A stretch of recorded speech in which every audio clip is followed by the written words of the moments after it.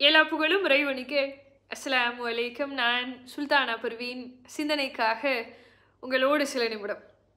ஒரு பெண் நினச்சா என்ன வேணாலும் செய்ய முடியும். முறிஞ்சு போகக்கூடிய ஒரு உறவை கூட அவன் நினச்சா புதுப்பிக்க முடியும். அப்படிங்கிறத நான் தெரிஞ்சுக்கிட்டேன். அது ஒரு பெண்ணால் மட்டும்தான் சாத்தியம். இங்கே என்ன ஆகுது? சித்ரான்னு ஒருத்தி இருக்கா. அவன் வந்து ஒரு பெரிய ஐடி கம்பெனியில் டீம் லீடராக வேலை செய்கிறான் சித்ராவுடைய கணவர் மனோகர். அவனும் அதே மாதிரி ஒரு பெரிய ஐடி கம்பெனியில் டீம் லீடர் ஆனால் வெவ்வேறு கம்பெனியில் டீம் லீடராக இருக்காங்க. இப்போ என்ன பிரச்சனைனா மனோகருக்கும் சித்ராவுக்கும் அடிக்கடி சண்டை வருது. மனோகர் வந்து கோவப்பட்டுக்கிட்டே இருக்கான். மூணு மாதமாக கோவப்பட்டுக்கிட்டே இருக்கான். என்ன ஏது ஏன் அவன் கோவப்படுறான்? எதுவுமே சித்ராவுக்கு தெரியல. இன்றைக்கி சித்ராவுக்கு சீக்கிரமாக வேலை முடிஞ்சிருது. பாஸ் என்ன சொல்கிறாருன்னா நீ வந்து ஹாஃப் டேவோட வீட்டுக்கு போய்க்கன்னு சொல்கிறார் இவளுக்கு வீட்டுக்கு போக மனசு இல்லாமல் அம்மா வீட்டுக்கு வந்துடுறான். பக்கமாக இருக்குது அவளோட ஆஃபீஸ்லேருந்து அம்மா வீடு பக்கம் அப்படிங்கிறதுனால வீட்டுக்கு வந்துடுறான். சோகமாக உட்காந்துருக்கா டைனிங் டேபிளில். அவங்க அம்மா அவசர அவசரமாக ஒன்று ஒன்றா பேக் பண்ணுறாங்க மாப்பிள்ளைக்கு வந்து நான் கொழுக்கட்டை செஞ்சு வச்சுருக்கேன் நீ எடுத்துகிட்டு போ. இப்போ தான் நான் வந்து காலையில் தான் வந்து நான் லட்டு செ லட்டு பிடிச்சி வச்சுருக்கேன். அதையும் நீ கொண்டு போ. மாப்பிள்ளைக்கு ரொம்ப பிடிக்கும் இல்லையா? இந்த மிச்சர் எடுத்துகிட்டு போகணும். ஒன்றா பேக் பண்ணி வச்சுட்ருக்காங்க இவ எல்லாத்தையும் பார்க்குறா இவளுக்கு வந்து அந்த அந்த மனநிலையில் அவள் இல்லை. ஒரு ஒரு எந்த எக்ஸைட்மெண்ட்டுமே இல்லாமல் இருக்கா. பேக் பண்ணிகிட்டே இருக்கும்போது அவளோட முகத்தை அம்மா கவனிச்சுட்டு கேட்குறாங்க ஏம்மா உனக்கு மாப்பிள்ளைக்கு எதுவும் பிரச்சனையா? ஃபஸ்ட்டு இவ எதுவுமே சொல்ல மாட்டேங்கிறா. இப்போ மறுபடியும் மறுபடியும் அம்மா கேட்கும்போது சொல்கிறா ஆமாம் இப்போல்லாம் அடிக்கடி கோவப்படுறாரு. ஏன் கோவப்படுறாருன்னு எனக்கு தெரிய மாட்டேங்குது. நான் ஒன்று சொன்னால் அதுக்கு மாற்றமாக இன்னொரு விஷயம் சொல்கிறாரு எப்படி ஹேண்டில் பண்ணுறதுனே எனக்கு தெரிய மாட்டேங்குது. ரொம்ப ரொம்ப கஷ்டப்படுத்துகிறாருமா என்னை அப்படி என்னடி பண்ணுறாரு அம்மா கேட்குறாங்க சொல்கிறார் நான் இட்லி செஞ்சேன்னா தோசை வேணும்னு கேட்குறாரு தோசையை செஞ்சு வச்சா இட்லி எங்கேன்னு கேட்குறாரு சட்னி அரைச்சா சாம்பார் இல்லையான்னு கேட்குறாரு சரி நேற்று சாம்பார் கேட்டாரேன்னு இன்றைக்கி சாம்பார் வச்சா ஏன் சட்னி அரைக்கலன்னு என்கிட்ட திருப்பி கேட்குறாரு ப்ரைமில் மூவிஸ் பார்த்தா நீ நெட்ஃப்ளிக்ஸ் போடு அப்படின்னு சொல்லி சண்டை போடுறாரு. எதை எடுத்தாலும் எதுக்கு எடுத்தாலும் மாற்றி மாற்றி பேசுகிறாரு எனக்கு வந்து இவர் ஏன் இப்படி பேசுகிறாரு அப்படிங்கிறத என்னால் புரிஞ்சிக்கவே முடியல. தொட்டதுக்கெல்லாம் கோவப்படுறாரு. ஒரு மாதிரி பேசுகிறாருமா ஒரு மாதிரி அர்த்தத்தோடு பேசுகிறார் அது எனக்கு எனக்கு ரொம்ப என்னை கஷ்டப்படுத்துது. ரெண்டு பேருமே ஒரே மாதிரி படிச்சிருக்கோம். அவரை விட எந்த வகையிலையும் நான் குறைஞ்சு போகல இல்லையா? அவர் ஒரு ஐடி கம்பெனியில் டீம் லீடராக இருக்காருன்னு சொன்னால் நான் ஒரு ஐடி கம்பெனியில் டீம் லீடராக இருக்கேன். அவருக்கு அங்கே என்னென்ன பிரச்சனை இருக்குமோ அதே பிரச்சனை தானே எனக்கும் இருக்கும்.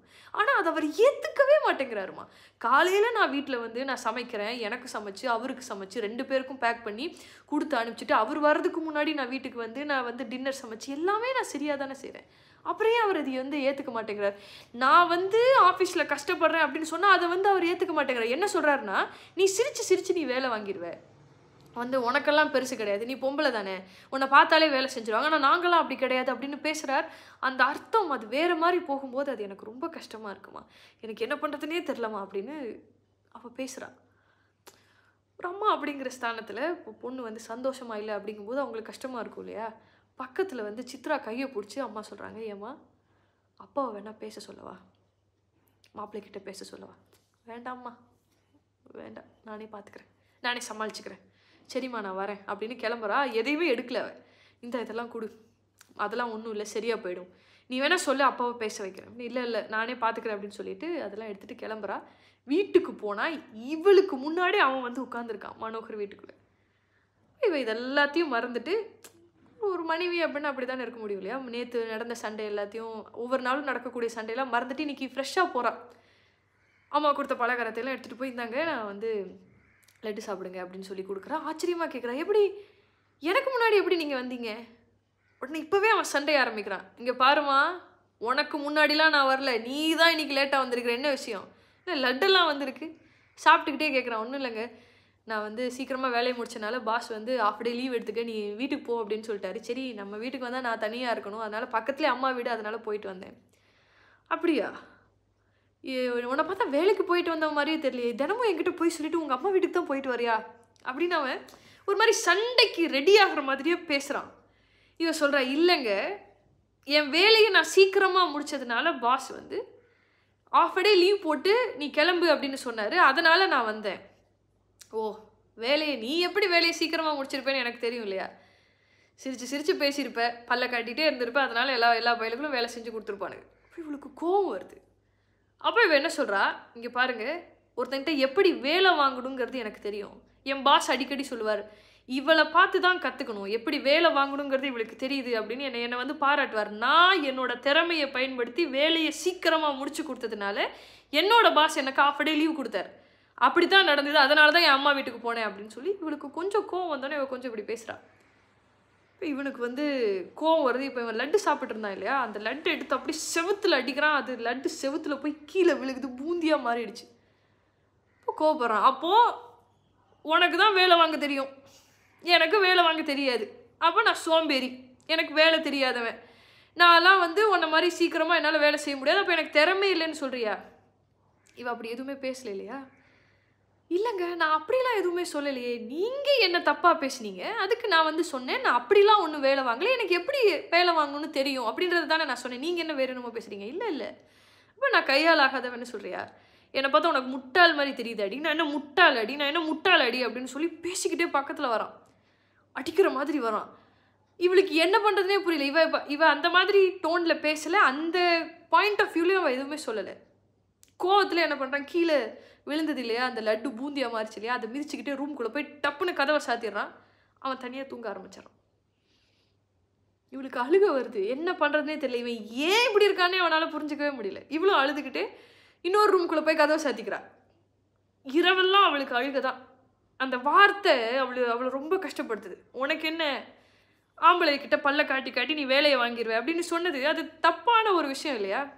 அது எப்படி அப்படி சொல்லலாம்? ஒரு டீம் லீடர் அப்படின்னா எவ்வளவு கஷ்டம் இருக்கு? நீ எப்படி அங்க வேலை வாங்குறதுக்கு கஷ்டப்படுறியோ அதே கஷ்டம் தானே எனக்கும். அதையே உனக்கு புரிய மாட்டேங்குதுன்னு இவளுக்குள்ளேயே பேசிக்கிட்டு அழுதுகிட்டே இருக்கிறா. நைட்டெல்லாம் தூக்கமே இல்லைங்க அவளுக்கு. காலையில தான் தூங்குறா. நாலு மணிக்கு கண் அசந்துறா. எட்டு மணி ஆயிடுது எந்திரிக்கும் போது வெளில வந்து பார்த்தா மனோகர் ஆஃபீஸ்க்கு கிளம்பிட்டான். ஏன்னா அவன் ஏழு மணிக்கு இங்கேருந்து கிளம்புனா தான் அவன் ஆஃபீஸ்க்கு போக முடியும். எதுவுமே எடுத்துகிட்டு போகல. லஞ்ச் எடுத்துகிட்டு போகல. அவன் சாப்பிடவும் இல்லை. என்னதான் இருந்தாலும் இவன் மனைவி இல்லையா? போறா. கிச்சனுக்கு போய் அவள் சமைக்கிறா. அவளுக்கும் காலையில் சமைச்சிட்டு காலையில் மனோகருக்கும் பேக் பண்ணிவிட்டு லஞ்சும் அவனுக்கு பேக் பண்ணிவிட்டு இவளோடதையும் எடுத்துகிட்டு போகிறான் இப்போ எங்கே போகிறான்னா மனோகர் ஆஃபீஸ்க்கு போகிறா போய் உள்ளே போனோடனே இவளுக்கு மரியாதை. ஏன்னா மனோகர் வந்து டீம் லீடராக இருக்காங்க இல்லையா? ஒரு ஐடி கம்பெனியில் டீம் லீடர் அப்படின்னா அது ஒரு நல்ல போஸ்ட்டுங்க போனோடனே நான் மனோகருடைய ஒய்ஃப் அப்படின்னு சொன்னோன்னே வாங்க மேடம் வாங்க மேடம்னு ரொம்ப மரியாதையாக கொண்டு போய் எம்டி ரூமுக்கு வெளியில் உட்கார வைக்கிறாங்க. சார் உள்ளே தான் இருக்காரு. வந்த உடனே நீங்கள் கொடுத்துட்டு கிளம்பிருங்க மேடம் அப்படின்னு வாட்ச்மேன் சொல்லிட்டு போயிடுறான்.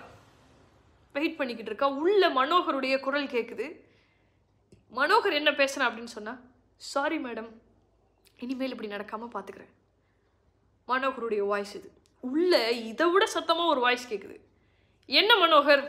வேலை தெரியல அப்படின்னா ரிசைன் பண்ணிட்டு போங்க.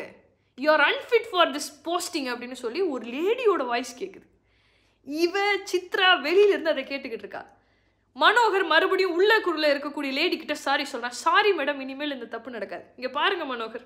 உங்களால் இந்த வேலையை செய்ய முடியல. ரிசைன்மெண்ட்டு கிளம்பிட்டே இருங்கிற டபுள் டிகிரியெல்லாம் படிச்சுட்டு இந்த வேலைக்கு வந்து காத்துக்கிட்டு இருக்காங்க அவனுக்கு யாரையாவது வச்சு நான் வேலை வாங்கிக்கிறேன். யூஆர் டிஸ்கஸ்டிங் அப்படின்னு சொல்லி அந்த அம்மா திட்டுது. உள்ளே கத்துது. அப்படியே ரொம்ப பொலைட்டாக சாரி மேடம் சாரி மேடம் அப்படின்னு சொல்லி மனோகர் பேசிக்கிட்டு இருக்கான். வெளியில் நின்று சித்ரா கேட்குறா விஷயம் என்ன அப்படிங்கிறது அவளுக்கு புரிஞ்சிருச்சு. லஞ்ச் பாக்ஸ் அங்கேயே வச்சுட்டு உன்னை எப்படி டீல் பண்ணணும்னு எனக்கு தெரியும் அப்படின்னு சொல்லிட்டு கிளம்பிடுறா. அதோட அந்த கதையை முடிக்கிறாங்க. அப்போது விஷயம் இங்கே என்னன்னா ஒரு லேடி தன்னை டாமினேட் பண்ணுறா அந்த லேடி கிட்ட மனோகர்னால கோவத்தை காட்ட முடியல. வீட்டுக்குள்ள இருக்கக்கூடிய பொம்பளைகிட்ட வந்து அவன் கோவத்தை காட்டுறான். இதுதான் விஷயம். இப்போ இதை புரிஞ்சுக்கிட்டு அவன் கிளம்பிட்டா. இதை ஏன் அவனால் புரிஞ்சுக்க முடியுது அப்படின்னு சொன்னா சித்ராவும் ஒரு ஒரு கம்பெனியில் வேலை பார்க்குறா. அப்போது ஒரு கம்பெனியில் இருக்கக்கூடிய ப்ரெஷரை உன்னால் ஹேண்டில் பண்ண முடியாமல் அதை கொண்டு வந்து நீ என்கிட்ட காட்டுறேங்கிறத அவளால் புரிஞ்சுக்க முடியுது. இப்போ இங்கே நம்ம தெரிஞ்சுக்க வேண்டிய விஷயம் என்னென்னா ஒரு ஆண் அப்படின்னு எடுத்துக்கிட்டால் நீங்கள் வெளியில் நீங்கள் போகும்போது உங்களுக்கு பல பிரச்சனை இருக்கலாம்.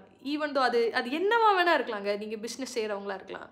நீங்கள் இது மாதிரி ஐடி கம்பெனியில் வேலை பார்க்குறாங்க வாட் எவர் இட் இஸ் அது ஒரு தனி உலகம். இங்கே சித்ரா படிச்சிருக்கா அதனால் அவனால் புரிஞ்சுக்க முடியுது. எந்த படிப்பறிவுமே இல்லாமல் உங்களை மட்டும் நம்பி வந்து உங்கள் வீட்டில் இருக்கக்கூடிய ஒரு ஹவுஸ் ஒய்ஃபுடைய மனநிலையை யோசிச்சு பாருங்கள் நீங்கள் ஏன் கோவப்படுறீங்கன்னே அவளுக்கு புரியாது. உங்கள் வீட்டில் இருக்கக்கூடிய அம்மாவுக்கு அது அது தெரியாது இல்லையா?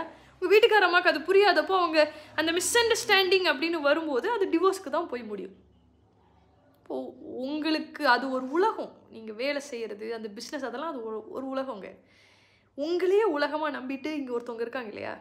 அவங்கக்கிட்ட நீங்கள் கோவத்தை காட்டுறது அங்கே காட்ட முடியாத கோவத்தை இங்கே காட்டுறது அப்படிங்கிறது அது லாஜிக்கே இல்லாத ஒரு விஷயம். அது ரொம்ப தப்பு இல்லையா ஆண்கள் அதை யோசிச்சு பாருங்க. அஸ்லாம் அலைக்கும்.